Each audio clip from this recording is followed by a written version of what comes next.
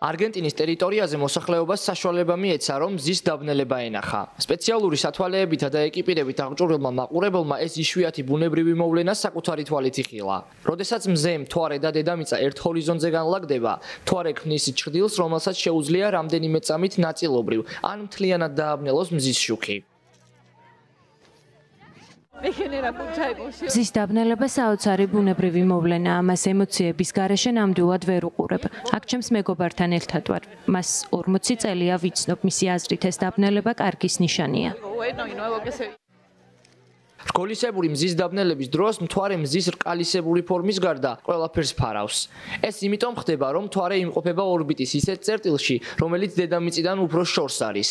ეს დაბნელება ძირითადად წყნარი ოკეანის ტერიტორიაზე მოხდა, რომელიც არგენტინის გარდა ჩილედან და ასევე აღდგომის კუნძულიდანაც იყო ხილული.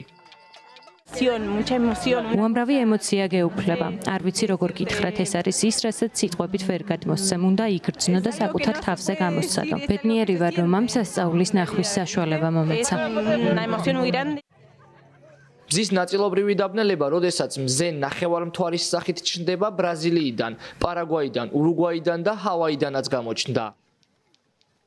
მზის დაბნელება წელიწადში მინიმუმ 2ჯერ და მაქსიმუმ 5ჯერ ხდება.